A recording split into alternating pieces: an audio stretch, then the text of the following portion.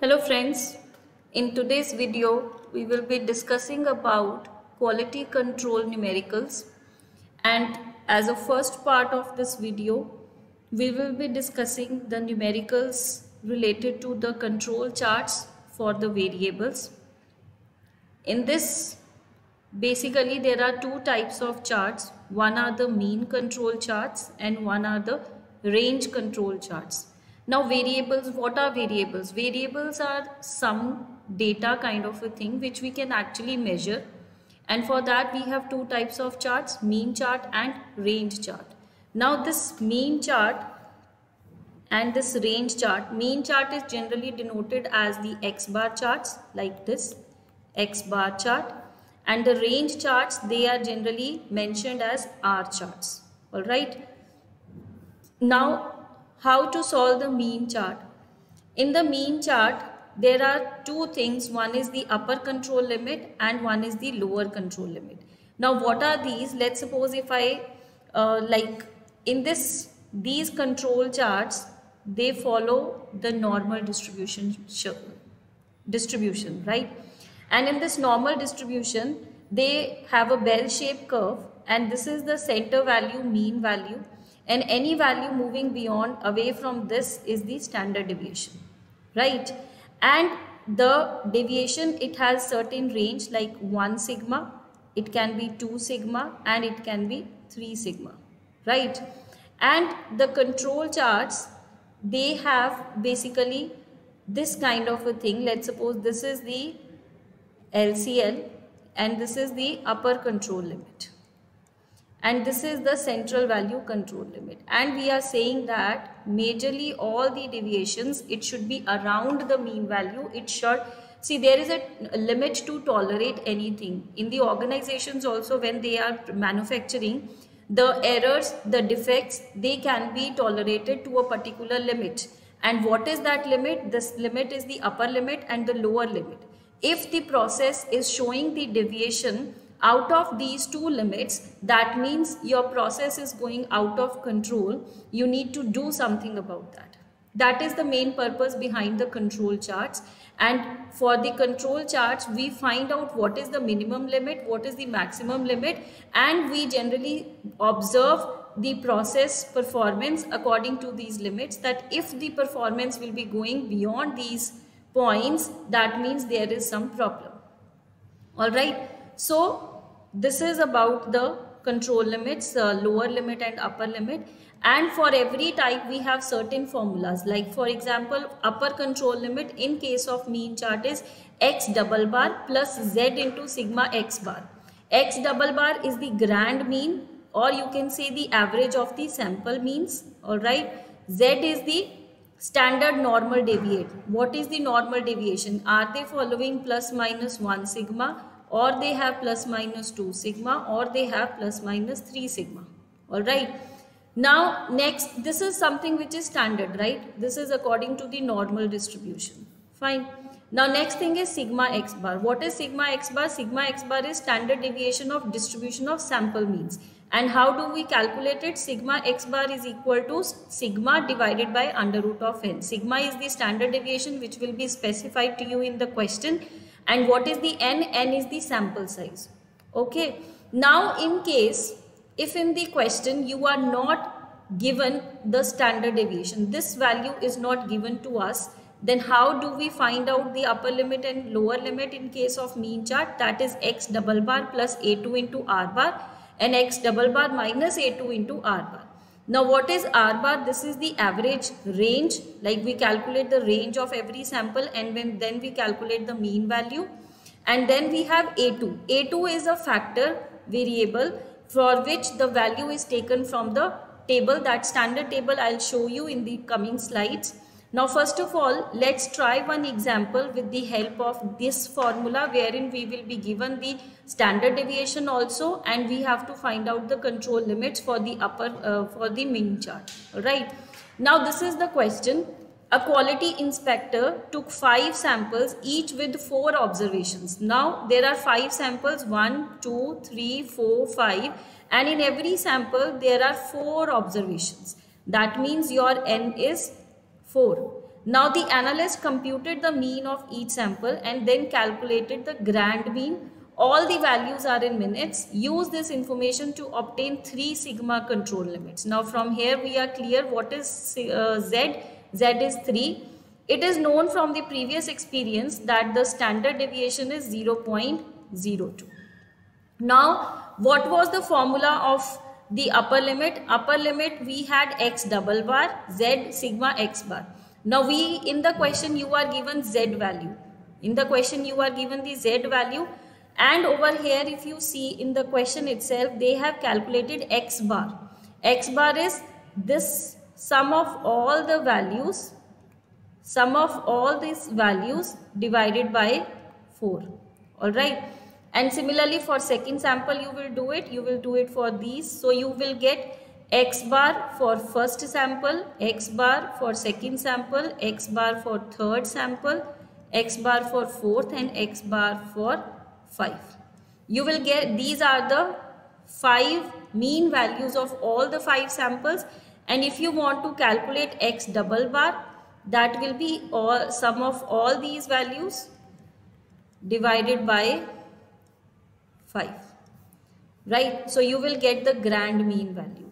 And sigma is this and you have n also. We can calculate sigma x bar that is sigma divided by under root of n that is 0.02 divided by 4 that is going to give you 0.01 so if I'll do it over here x double bar is equal to 12.10 plus 12.12 plus 12.11 plus 12.10 plus 12.12 divided by 5 all right. And z is 3 sigma x bar is 0.01 and if I'll do the calculation of uh, this x double bar it will come out to be 12.11. Now what I have to do, I have to substitute these values in the formula that is 12.11 plus z is 3 and sigma x bar is 0.01 and lower control limit is 12.11 minus 3 0.01. This is shown in the next slide also.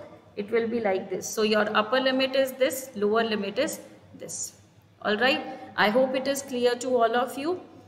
Now the next, if you people remember, I mentioned you one more formula that if in case you are not given the sigma, if sigma is not given to us, then you have to refer this table wherein the formula was x double bar plus a2 into r bar, x double bar minus a2 into r bar.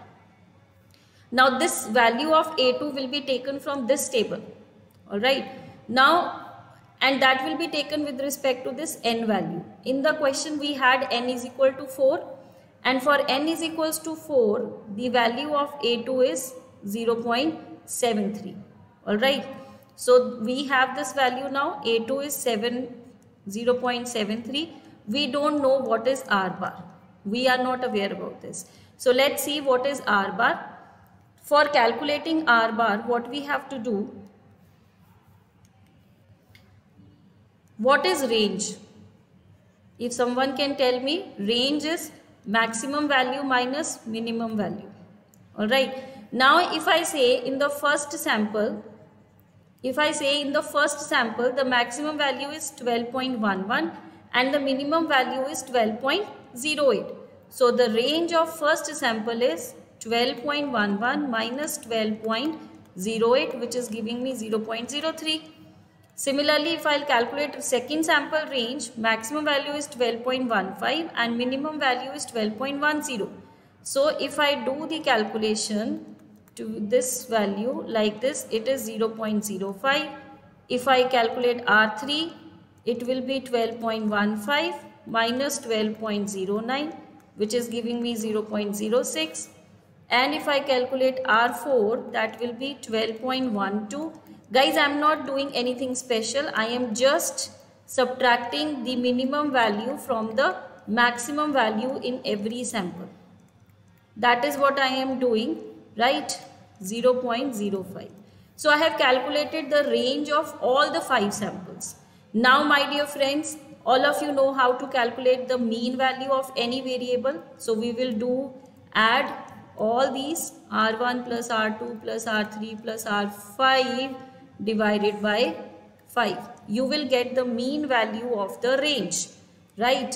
And using the mean value of the range, the values can be calculated like if I say using the uh, like calculator if I do it this is uh, 3 5 8 6 14 18 23 this is 0.23 divided by 5 now if I do it using calculator 0.23 divided by 5 it is giving me 0.046 all right.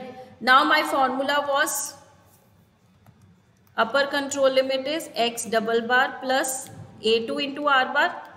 X double bar is 12.11 plus a2 was 0.73 and my r bar is 0.046 similarly lower control limit it will be calculated as 12.11 minus 0.73 into 0.046 so this is how using two different formulas you can calculate the control limits of the mean chart. Alright. Now the next chart which we have to do is the range control charts. Now range control charts or the R charts they are used when we have to monitor the dispersion of the process. That means they are sensitive to the changes in the process dispersion. Alright. Now what is the formula of upper limit and lower limit in this? D4 R bar, D3 R bar. Now D4 and D3 again these are the again these are the factor variables. D4 and D3 these are again the factor variables and for this you have to see the value of here D3 and D4. Like for n is equal to 4 if I continue the same question which we were doing in the question for n is equal to 4, d3 value is 0 and d4 value is 2.28, right? So d4 is 2.28 and the range which we calculated, average range, it was 0.046 and it was 0 into 0.046. So when I'll do the calculation in this uh, uh, 2.28 into 0.046, it is giving me 0.105 and this value is 0. So this is the limit of uh, control limit of the range charts. Alright. Now in this video what we have learned let's have a quick summary that we had done the mean chart. These are the formulas for the mean charts. Fine.